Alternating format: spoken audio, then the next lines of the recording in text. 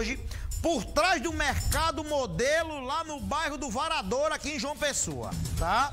Lá no bairro do Varador, aqui em João Pessoa, homem foi baleado. Corre que lá vem a poiva, bem, bem, bem.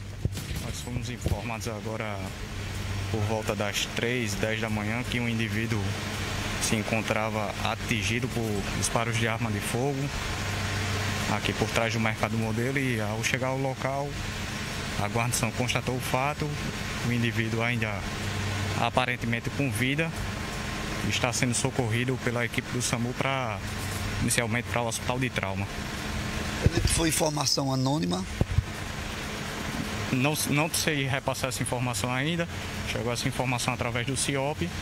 A gente, ao fazer diligências no local, é, um popular nos informou que escutou quatro disparos de armas de fogo no, no local, né? Então, essas informações estarão sendo repassadas para o pessoal da Polícia Civil, ficarão a cargo das investigações.